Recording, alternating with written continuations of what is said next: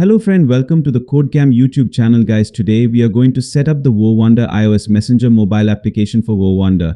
So first of all, we will need a source code which you can purchase from this website here. First of all, you have to search WoWonder iOS.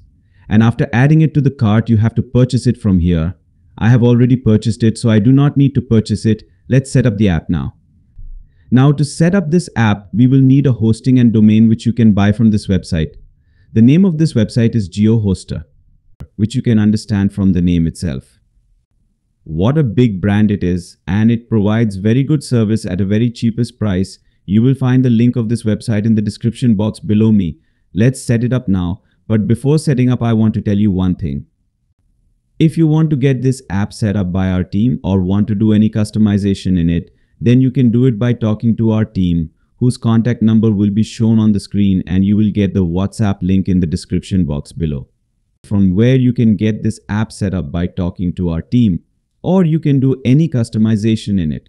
Our team will give you this customization or setup of this app at a very cheapest price. Come on, let's set up this app.